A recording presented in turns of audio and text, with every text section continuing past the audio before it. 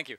Um, I'm going to talk about uh, the process I went through this summer when I was trying to build a spam filter, which implies I'm not done yet. Uh, but um, I'm not sure if I ever going to be done with this. Uh, so start out a little bit about myself. My name is Johan Broddfelt.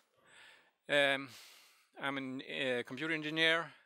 I also took a class in artificial intelligence at Udacity last year. I'm a developer at Front IoT, and um, I'm a co-founder of the network Barrel AI, and uh, we host um, after works and presentations like these, and we also run some workshops. And if you're interested, there's more information on the website barrel.ai, and um, so join there. Uh, the spam filter I'm going to talk about is actually for the community CityPolarna, and we should have at least four people from CityPolarna here today. Yes. Uh, and that is a community that I've been part of building. And uh, the thing is, people invite each other on different events and have social gatherings. And that's all nice and, and dandy. But sometimes people do not agree completely on how these events should be held, and then they start to um, write angry comments at each other, and uh, that's not looking that good. So when new members come in and they see these nasty comments, they think that this is not my place and they leave again. So it's important for me to catch these before they catch fire. And we also, of course, have all these spammers with uh, uh, Miss Dana who wants your email because she wants to marry you. Um, so I want to catch these before um, any members actually get to see them, or at least not that many members. So this is my attempt that I'm going to present to you today, how it went. I started out, uh, my interest in machine learning started in the beginning of year 2000, and then I tried to predict horses uh, and see which if I could figure out who was winning. Didn't went too well. Uh, I only had like three races in my data sets, and uh, I was using Excel as a tool. So it wasn't that good. Um, so I want to catch negative comments, uh, basically. And I have uh, over hundreds of members uh, might read the negative comments before I get information about them. And I, as a um, administrator for this website, have responsibilities to clean up uh, nasty comments and remove spam and stuff like that. And um, negativity can actually lead to conflicts that kind of linger around in the forum in the community for years after if they uh, get too large before we can manage them. So what do I have today to manage this? I have a simple word filter that looks for husband, love, beloved, and wife, and stuff like that. And so if, if I get any of these, I kind of delete the user. And then I have um, a spam filter that looks if this user is posting the same comment like three or four times a row, then I also just delete the user and, and all the comments as fast as I can. Um, and then I have this um, warning function. So users can actually go in and click like a warning triangle and uh, uh, we get an email of that um, warning. This might take some time though and uh, a lot of members might see the comments before we get any information about them and, and sometimes we don't get any information at all. So this is the most technical slide in the whole presentation, so don't worry. Uh, this is the implementation I've been using uh, to kind of play around with the data I have. Uh, just I just want you to see it. Uh, I use TensorFlow with Python uh, for you that are uh, know that. I start with creating an embedding vector. if you were in the previous presentation, you heard a little bit about that. It basically takes all the words in a comment and um, assigns them to a vector uh, so you know kind of which space the the word is in. So you get more dimensionality on your data, not just a string of characters, which is neat. Then I use a LSTM cell, which is a long-term, short-term memory, which looks at the string and remembers some of the uh, data for longer time and some of the data for shorter time, just to see if, if they are important. So it's a special technique. Um, and then we can add multiple layers if we like. Uh, we can have some probability that we keep neurons. We do dropout. That uh, is a technique for um, eliminating or at least reducing the amount of overfitting you have of a network. And, and uh, we don't want that. Um, yeah. Then we can set the learning rate as well, how fast it should learn. Um, and this is returning a, a prediction. Uh, so we, we get a value on between 0 and 1, how probable this is a spam or not. So that's basically all. What labels do I have in my data set then? I have uh, some plus and minus buttons where people can like and dislike comments. I don't have that in all my data set, but at least uh, uh, quite an extensive portion. And then the warning function comes with these five labels. Wrong information, inappropriate language, threats, illegal content, spam, and others. And I want to catch at least these, the wrong information. I, I don't know how I should catch that, and other, I don't know. I don't even think anyone used that one. Um, so when I run this, I hope that my bad data set is 100% bad and my my good uh, part of the data set is labeled 100% good. So this is what I want. But of course, the world isn't black and white. So we have these, the red one represents the error. And basically here you have the error from zero and and that's the same size and here the error from zero as well it's a little bit larger here the error is from 100% and also there from so I'm going to use this image for most of my trainings data to visualize it so I, I'm showing this so you understand what I'm trying to say anyone has any questions on this one okay so I have 50,000 comments. That's great. Now, let's run our algorithm. And what do we get? We 98% accuracy. It's crazy, right? I'm done. We can go home now. That's how it works, right? Uh, wait a second. Where's my data? 0 0.020 all samples. What? And now I start to look at the code because, of course, you look at the code when something doesn't work. I'm a programmer, right? And I've been using the same algorithm with another data set and worked perfectly, worked fine. Why? Oh well, I only got 1,500 labels with negative labels and the rest is positive labels, okay? And I do the math, and the network is really smart. It says, if I just say that is okay, I'm 98% correct, and, and I'm fine with that. okay, so what do we do? We remove some of the good samples so we get like, even it out a little bit. So we remove 47,000 samples. Mm, I don't want to do that.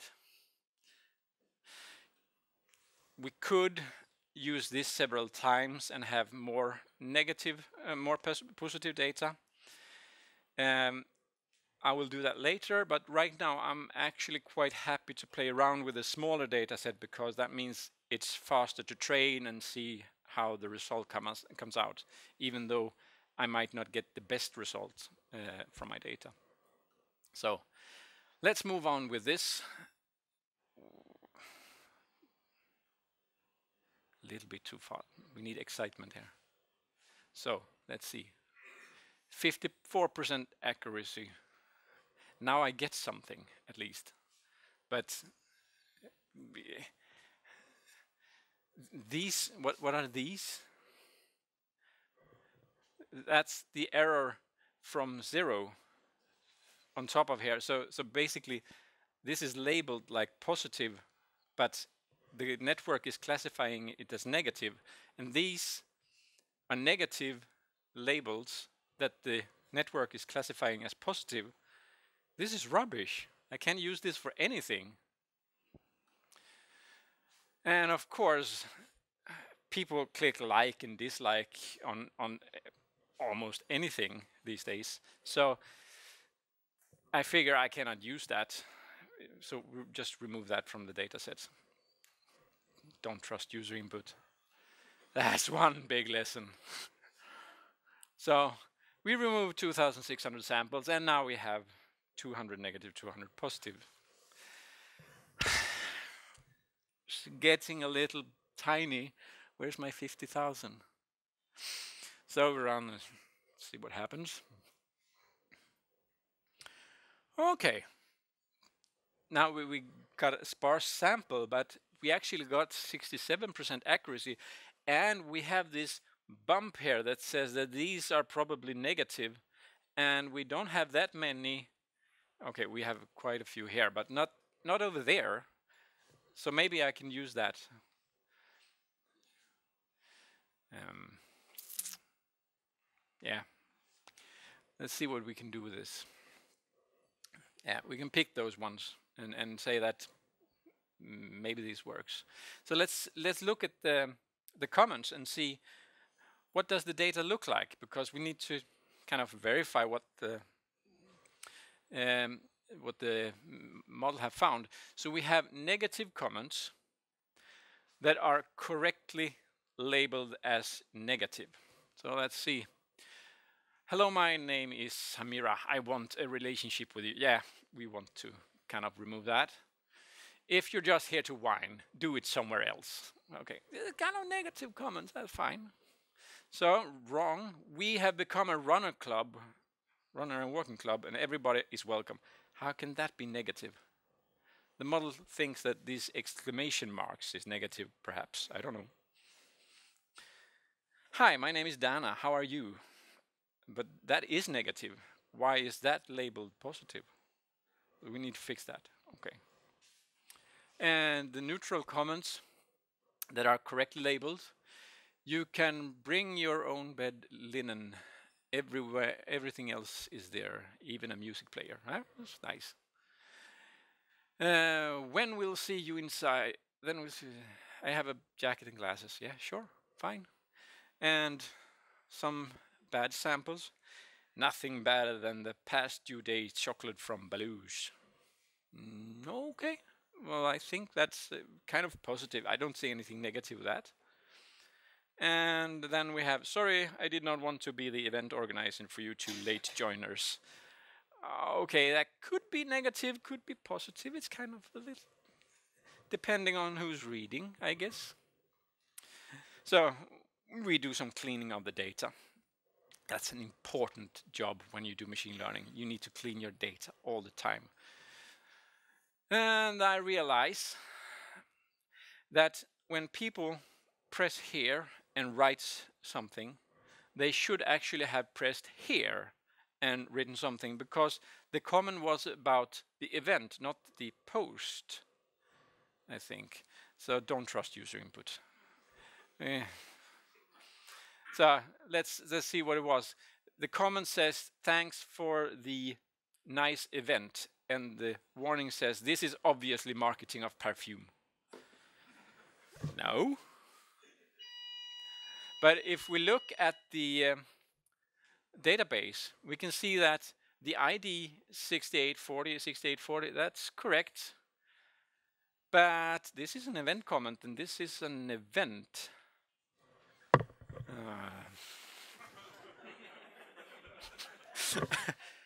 Whoops.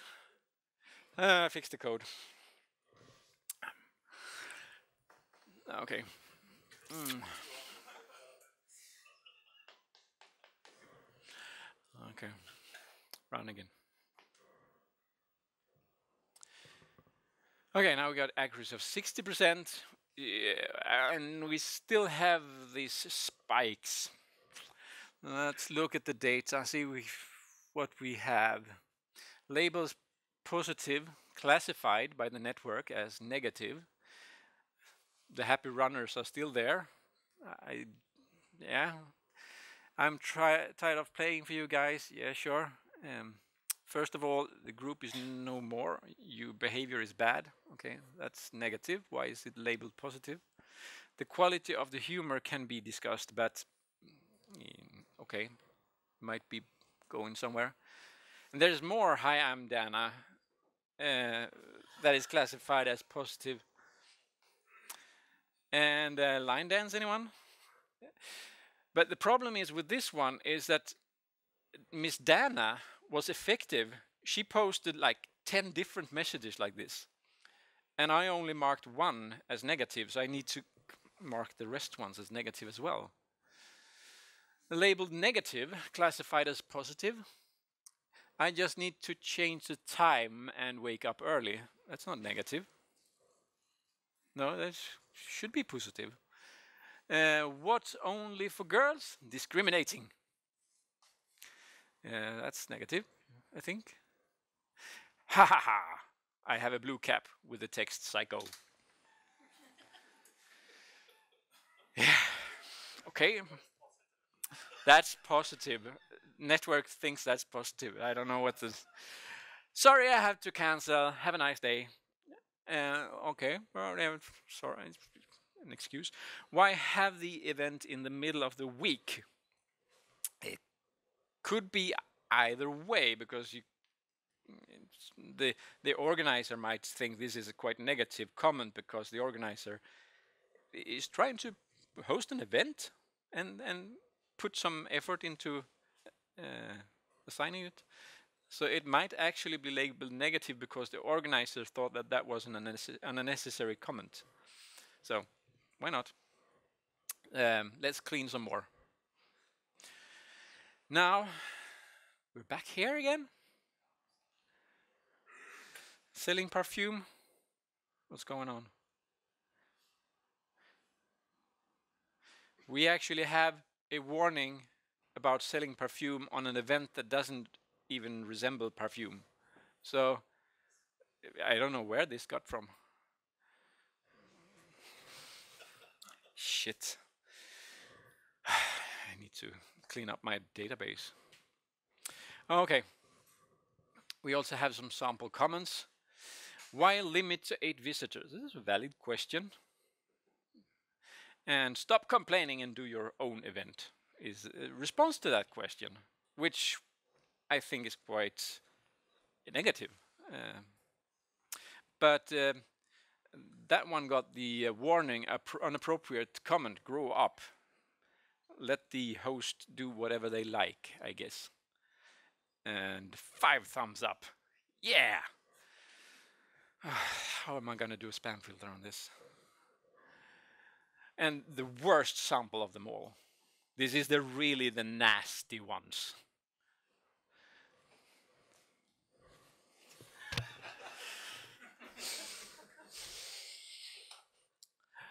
Ah, okay. Let's try again.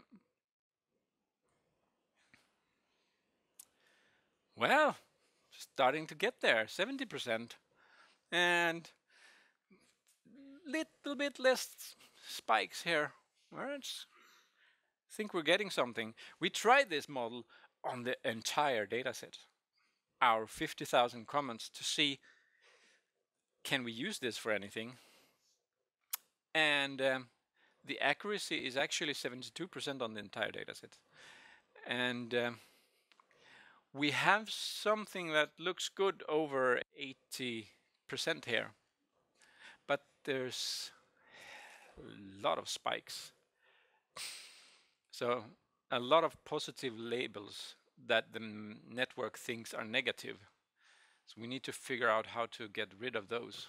We can at least start to look at them. Marked positive classified as negative. The bus departs 10.30 and arrives 11.45. Okay, I think uh, the numbers here are uh, confusing the network because when someone is writing negative things, they tend to use more numbers than um, if they're not writing negative things. Um, and now we're getting into biases, and the network is kind of biased to say that okay, if it's got numbers, then it's it's negative. There is a really good reason to discuss this topic. Okay, if you say so, I'm not sure. I like this site, but I would like to get notifications. Sure, that's not negative, right? These has paid Lisa, Eric, Jan, John, May, Lulu, Peter.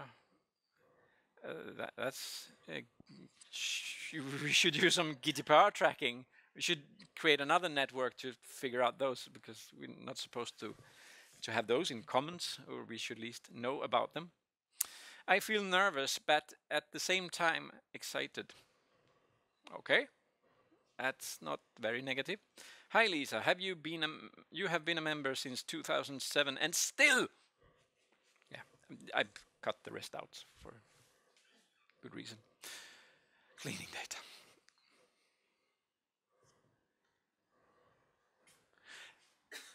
Now we actually got more. That that's good. We have some more to train on because we actually used the 12 year data sets and we got some more labels from the some more negative labels from the large corpus that was unlabeled previously. So the network actually finds some more data for us to train on. Um, so that's good. We have been able to use it for something. And now I want to try to manipulate the um, different um, parts of the network. So we have one layer, we have uh, 256 LSTM cells, we have a batch size of 10, embed size of 50, dropout 0, and we get 70%. Okay, so we try to increase the dropout to 0.8 and uh, see what happens. Now we got 80%. That's good because we remove some overfitting and yeah. And then we increase the number of layers because we want to make the network smarter. Deeper network is more intelligent, right? They can figure out more features. Mm, okay, maybe not. Maybe if we increase to 6? Ah, wrong way. Uh, increase batch size? Great! Yes, run with that. Now we have 85% and it looks like this. Mm, okay. If we compare, we can see that this one is kind of slowly going up. This one has a little bit higher spike and yeah. This one has more data as well, as we can see. Let's try it on the big data set. And we got 75% accuracy. And we can compare, we have this little bump here, but we kind of still have a lot of positive samples that are hard to classify. So let's do an experiment. We pick only the hard ones and create a new network and try to classify only the hard ones because then we can kind of separate them out and see if we can. So here, here we can see that there are a little more gaps here and some and, and very few here. So we have the data and I could actually use this uh, and have because what is it? 350 emails I would get over the last 12 years. It's not that much. And uh, if I get all these black p uh, uh, negative comments I wouldn't mind getting all the positive as well. It's so I, I could actually use that uh, but let's see what I can do more with this. So I do some cleaning of the data again. And now we have 300. Uh, going up and down. Running. What? This is rubbish. Run on the entire data set, see what we can do. Whoa, there. It's crap. It cannot figure out anything because we only trained on the hard examples, so the easy ones it, it doesn't care about and it doesn't know about them. And since they are hard, you probably can't figure out the easy ones either because you haven't looked at them at all. Bad idea. Don't do that. Then I try another method. I take the string. Thank you for this lovely event. Hope to see you soon again. And I split it up to small string. I chunk it up in pieces. Whoa. There you go. What's this?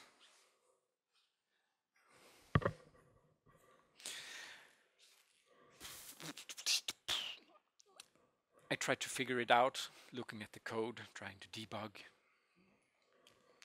Turns out the NVIDIA GPU memory error. Restart Conda and you're fine. Uh, the problem is that I was using one workspace for the network and then when I tried to chop it up into pieces, I created a new one on the side. But since I ran them at the same time parallel, they kind of interrupted their each other's memory in the GPU. Uh, no good, don't try that. now, since the data is chopped into pieces, we actually got 22,000 samples to play with. Yay! Uh, the small samples, but still, we got some more. See how that goes. What? Accuracy 50%? What am I doing wrong? I'm still playing with the sorted data. okay. But the, the random data was even worse, so uh, I don't know. I get to work and create some five letter, five word strings that are negative and classify them as negative. And now I can get this and then I can kind of sum them together and, and get a nice string. Uh, so let's see.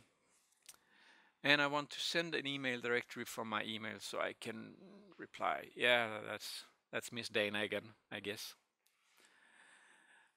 I really cannot. You're so terribly negative and just looking for errors. So the more red, the more negative, and the more green, more neutral.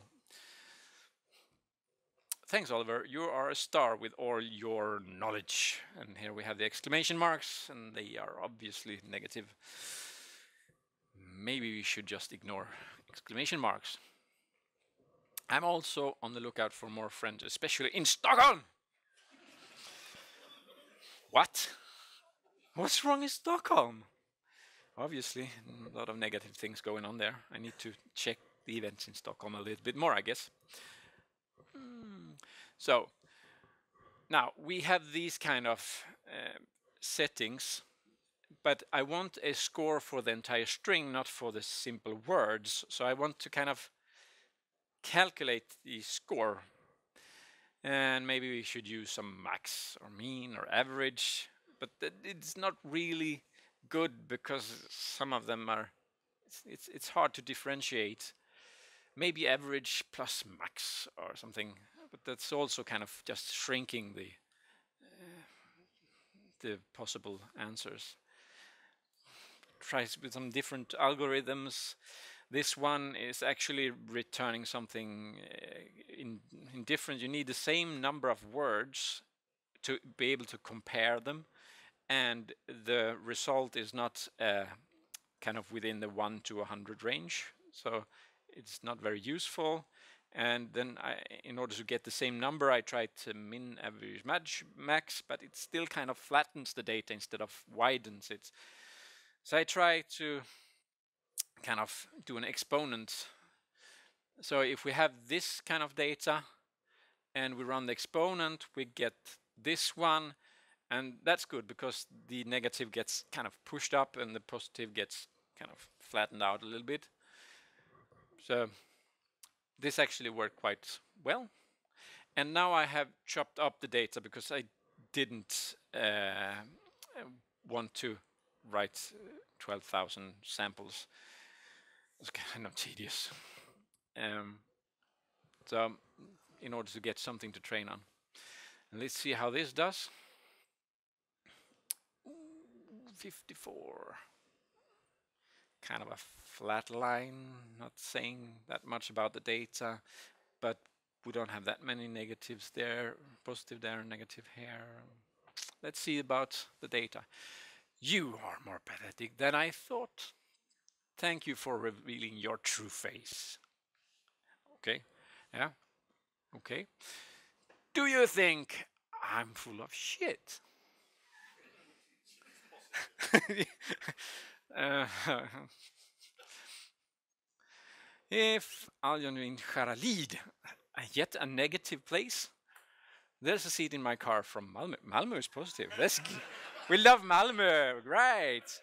Welcome. Hot guys. Okay. Let's use 5,000 comments of our data and see if we can get something more interesting out of more data. Okay, 52% accuracy, but the real accuracy after the math where we look at each sentence is actually 68, so it's fairly okay. And if you think about it, each sentence contains equal amount of negative and positive comments if they are negative, and all, only positive if they are positive. So it's kind of a 50-50 if you look at the data, because the, the points in the text that are negative are quite few. Um, so let's see what we get here. Hello, my name is Samira. After reading your profile, I would like to have a relationship with you. Great, but I don't think you are on the right website because CityPolarna is not a dating site. It's a place where you meet people and have a beer, like Foo Cafe. I'm not negative. I remind you of the ridiculous of limiting seats to a certain age. Yeah, could be good to interrupt and, and tell the person that it's actually okay for the user to limit the age. We have that. Um, same here, I'll show up the third instead. Yeah, fine, good. I was just kidding around, not very negative. You never had anything but negative comments about others. Okay. How many times do I have to say it? Use sunscreen cream. Mm. Important, especially during the summer. And we usually spray pets. Is that that that is not negative, right? But if you talk about people, but uh, but how is my algorithm supposed to know that the uh, person is referring to a person and not a bug? Yeah, okay. We have some issues about that. I see no mail in your profile. And this is typically the, the spam asking for mail in profile, right? But maybe haven't understood how this site works. This is just a question. There's nothing negative about this.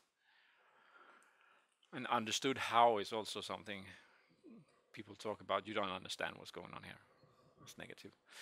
Don't forget to bring a tripod if you want long exposure time. Yeah?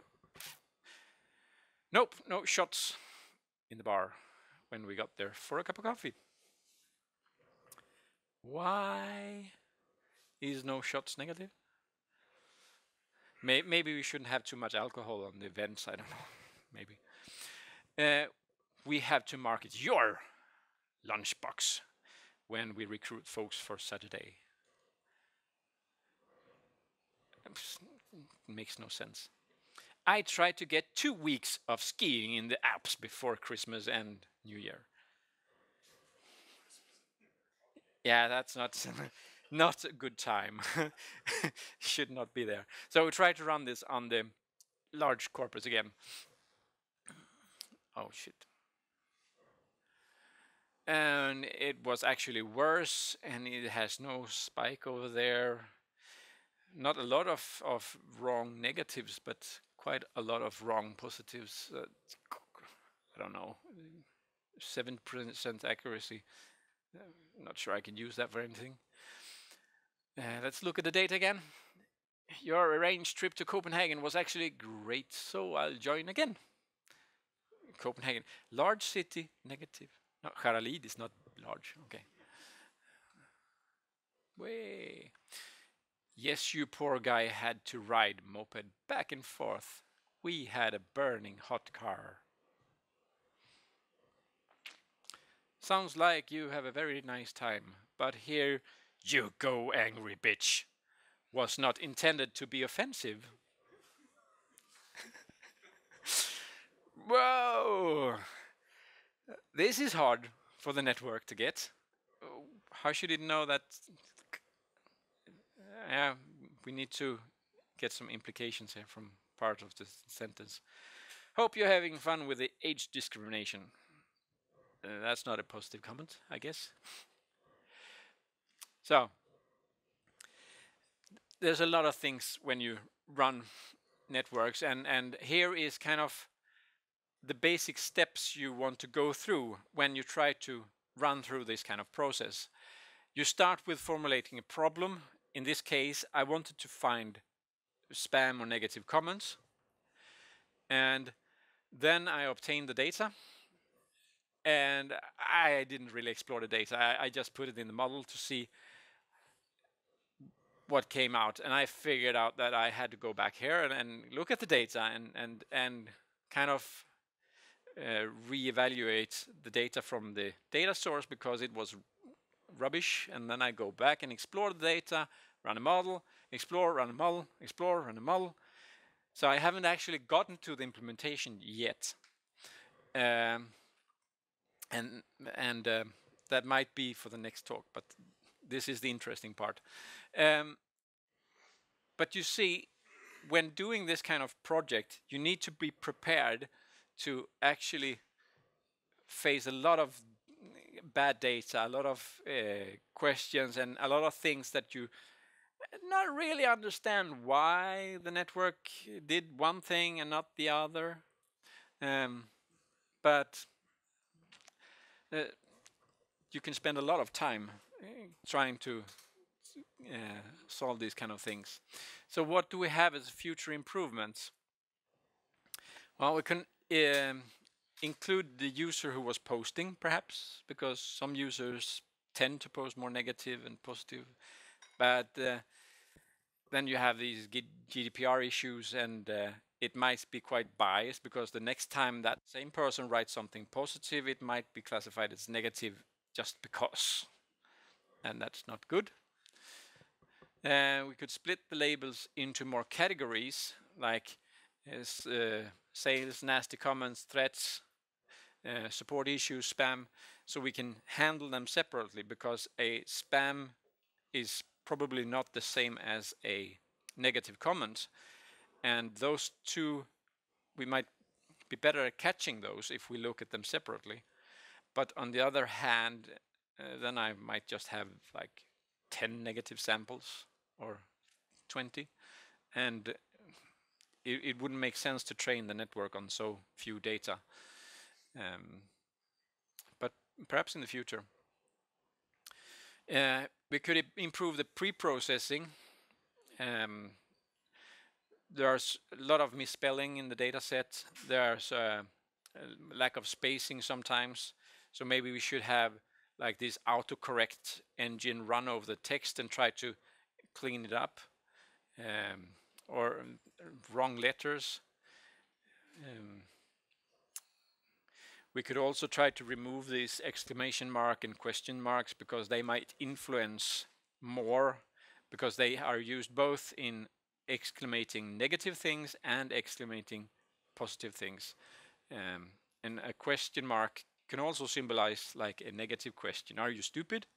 Or this is a good thing. How did you do that? So it might improve the, the result if we remove those. Um, maybe we could do some uh, stemming of words. I actually did that. Uh, so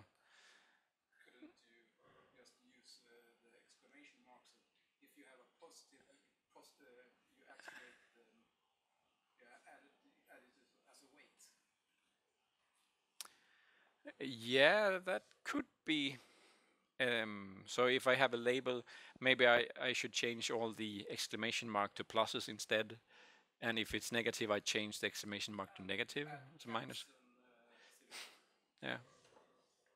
Yeah, there's a lot of um, notation you can use. If, if someone writes for upper caps, for example, you could kind of mark that word somehow.